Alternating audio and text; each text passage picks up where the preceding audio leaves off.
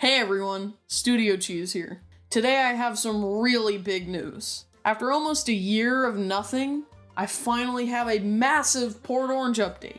Recently, some fans have found and sent me blueprints and permits from Parkway Construction and Architecture, which is the construction company officially contracted by CEC Entertainment. These plans, of course, are regarding the Port Orange location. In particular, I want to thank CEC San Diego for initially bringing these plans to my attention, and I also want to thank Galla for getting me the original PDF files for every single plan so that we can view these in the highest quality. I'll leave a link to the files in the description down below if you'd like to check them out in greater detail for yourself. Anyway, there's a ton of details about the rebuild in these documents, but a lot of it is just general safety and construction stuff. Since I doubt anybody watching this wants me to talk about the new plumbing systems for 20 minutes, I'll just be covering the interesting stuff. So starting off, the location will be at the exact same location and address as before, located at the Port Orange Pavilion. The store itself will just be over 13,000 square feet in diameter and is also believed to be roughly 33 feet tall building will have an occupancy of 824 people with seating for only 212. As you can tell by the images, this location will be a 2.0 store. This means the 32 movement Circle of Light stage will not be returning, sadly. Okay, now let's take a look around the inside of the location itself. The entrance will be in the bottom left corner of the building, exactly as it was in the old location. Now this is how you would be seeing the store if you were entering it, but for all intensive purposes, I'm gonna rotate it like this so that you can read most of the text. Anyway, after going through a small hallway here, you're immediately presented with Kid Check in the ordering counter. Moving to the right, you're presented with the first set of games. These include games like skee ball, basketball, and the big bass wheel, just to name a few. A set of tables and booths will divide the main game room area from the main seating area.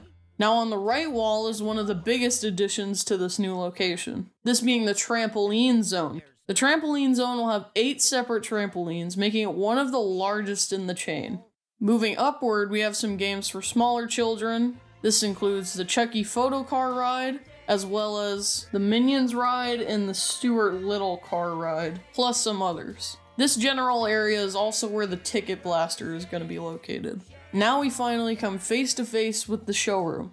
This is where the video wall, dance floor, and most of the seating is. Of course, these benches are mostly used for reserved birthday parties.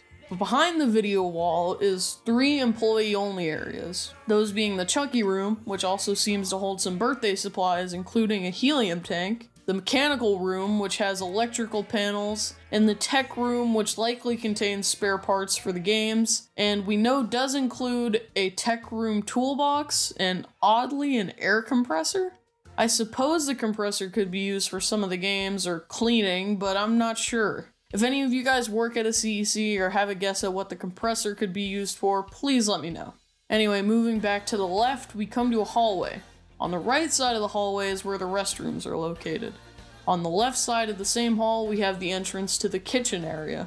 Back to the main area, just a little further along, is the prize counter as well. Now we're back at where we started. So that pretty much completes the tour of this location's layout. Now for the most exciting part of the video, we have confirmation that the construction will start on October 2nd of this year. It's expected to last until March 4th, 2024. This means the location should be open sometime in March next year or early April next year. I'll be sure to give you all plenty of updates leading up to the grand opening.